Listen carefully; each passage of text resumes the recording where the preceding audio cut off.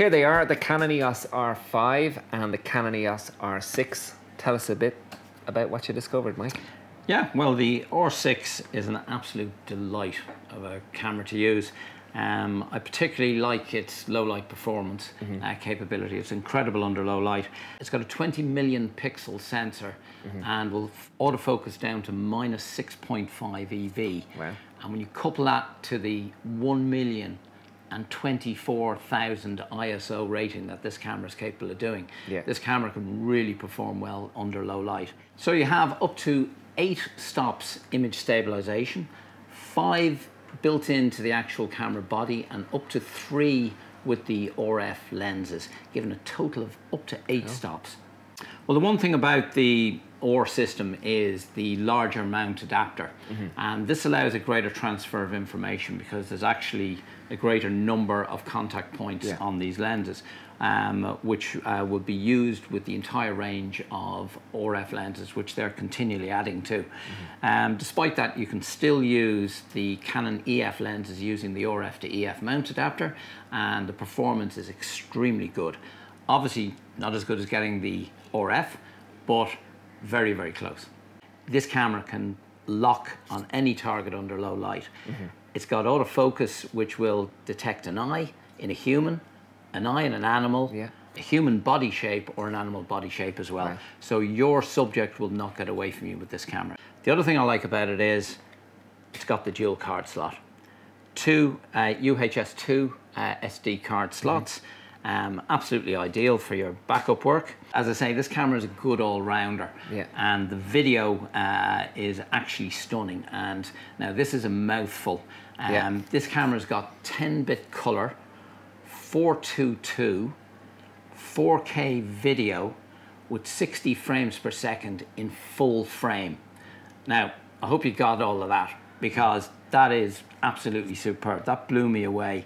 Coupling that with the sensor, coupling that with the ISO, and coupling that with the image stabilization, this camera is an absolute dreamboat to beat.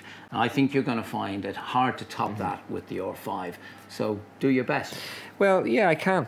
Uh, so this guy has 8K raw internal video with full frame, uh, 30 frames a second. It can do 120 frames a second on the 4K, 10-bit 422 color, and anywhere below, obviously. Like that, it has the dual pixel autofocus, and it also has that in the video mode. So you got your dual pixel autofocus in all the codecs 8K right the way down. Uh, and also in that video, it is using the full sensor area. Uh, you have your eye detect, your animal eye detect, and again, the, the body shapes, the animal um, and human body shapes. It has again two card slots, but this guy has, because of the 8K RAW and the, and, and the 4K up to 120, you have the CF Express cards on much greater data rate, and then you have a UHS2 SD card. Also, of course, with this, it's got the H.265 codec, so it's far more efficient at compressing the data. So you're getting longer record times in the camera and more data on your cards, or you've more space for data on your cards. Not to mention, it's uh, more efficient for video editing as well. Then in the stills, you're up to 45 million pixel resolution. Uh, again with the inbuilt image stabilizer, and it has um, a maximum 12, like, like this guy, the maximum 12 frames a second in the mechanical shutter and up to 20 frames a second on the electronic shutter, all with no blackout in the viewfinder. Speaking of which, a very nice viewfinder, 5.7 million pixel resolution. So I was able to zoom in up to 15 times on the viewfinder, just doing pinpoint AF. There's something about the power as well on both of these. Uh, there's a new battery. Yeah yeah. yeah. There's, well, there's the new um, LPE 6H, so a higher capacity battery, which is backward compatible with the Rs and 5D Mark IVs, etc. It has the usuals like their mic input, headphone jack, and so forth. And again, a clean HDMI out feed. So if you do want to record external, you can do that as well. So. So overall, so overall, between the stills package and the video package, this camera is suitable for any professional photographer. Well, it is the ultimate creator's dream because it, it is both an amazing stills camera and an amazing video camera. I think really the main users of this camera are going to be quite possibly video users. And you know, you, like this is a very credible B cam in in the movie industry. Um, as well as you know content creators, TV production, and of course professional photographers. Well, this particular camera, I think, is aimed at uh, the prosumer. Mm-hmm. Um, you could easily use it professionally, uh, but I think with the price point that Canon have actually put it into, mm-hmm. I think there'll be a huge amount of prosumers. Um, people who yeah. love their photography and some people who earn their living from it. So I think it's going to be uh, a real mixed bag of people because it's got so much to appeal to everyone really. Yeah. Um, so I think this camera is going to do really well. Well, a bit of, a, bit of background um, to the Canon system. We came yeah. from uh, when I started in the trade, it was the FD mount system, mm-hmm. and Canon completely reinvented the mount.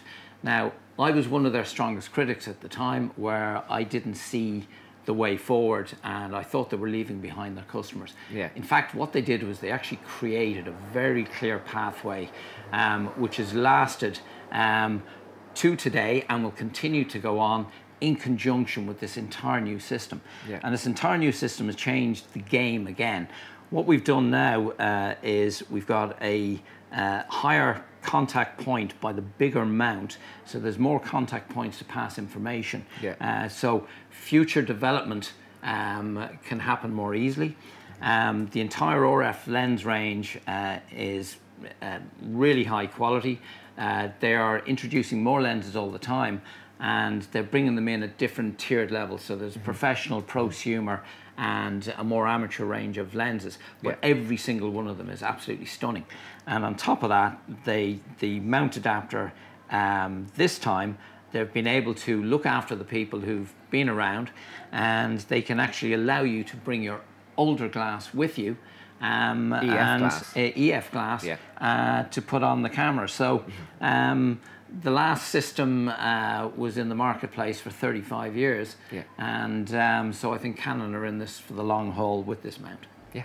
So if you want to find out more about the cameras, drop into the store and talk to one of the team, or alternatively, you can find us on connscameras.ie.